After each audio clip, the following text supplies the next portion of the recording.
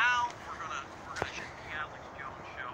You need to support kid that's 25 years old to get a 40 year old or a 38 year old to actually Myself on a morning show. Here right now. So they're building a new manatee observation deck here. championship.